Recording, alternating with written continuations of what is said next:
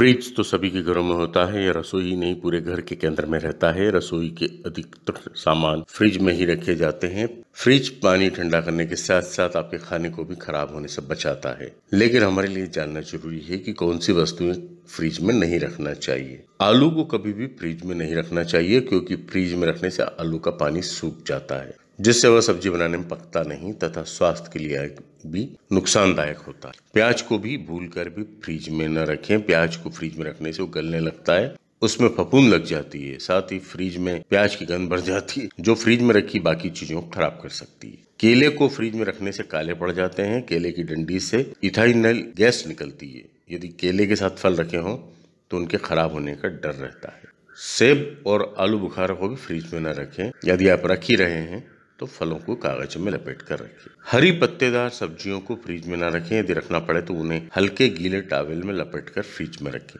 खरबूजा को भी फ्रिज में न रखें, फ्रिज में रखने पर ही जल्दी गलने लगता है, तथा तो इसकी खुशबू फ्रिज में फैलने लगती तो देखिए, जो सामान बताए गए हैं, वस्तुएँ बताई गई है, आलू, प्याज, केला, सेब, आलू बुखारा, हरी पत्तेदार सब्ज़ियाँ और खरबूजा, इनको भूल कर भी फ्रिज में नहीं रखना चाहिए। Subscribe our channel and press the bell icon for more updates